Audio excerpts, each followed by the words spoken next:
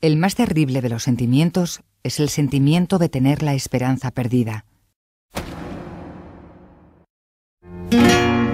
Federico García Lorca nace en Fuente Vaqueros, Granada, el 5 de junio de 1898. Poeta, músico, dramaturgo, ensayista, pintor, conferenciante, artista sobre todas las cosas.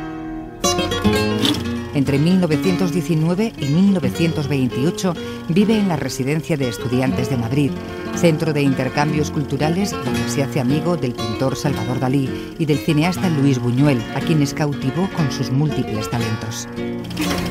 Perteneció a la llamada Generación del 27, compuesta entre otros por Rafael Alberti, Luis Cernuda, Damaso Alonso, Pedro Salinas, Vicente Alexandre, con quienes compartió amistad e inquietudes artísticas. Su primera vocación artística fue la música. Desde muy joven comienza a tocar la guitarra y a estudiar piano. Compuso canciones con fuertes raíces flamencas e investigó el cancionero popular andaluz con Manuel de Falla.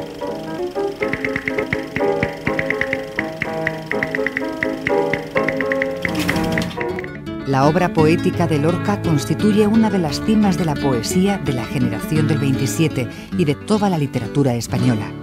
Su poesía es el reflejo de un sentimiento trágico de la vida, los problemas sociales e individuales como la frustración amorosa, la valentía, la melancolía y la pasión.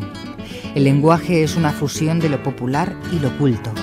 Muestra de ello lo encontramos en uno de sus más conocidos poemas, El romancero gitano. Emplea el romance en sus variantes de novelesco, lírico y dramático. Como dramaturgo aborda diferentes géneros, aunque su reputación descansa en las tres tragedias populares, Bodas de Sangre, Yerma y La Casa de Bernarda Alba. Dirige el Teatro Universitario La Barraca, con el que viajó por toda España, representando obras de Lope de Vega, Tirso de Molina y Calderón de la Barca.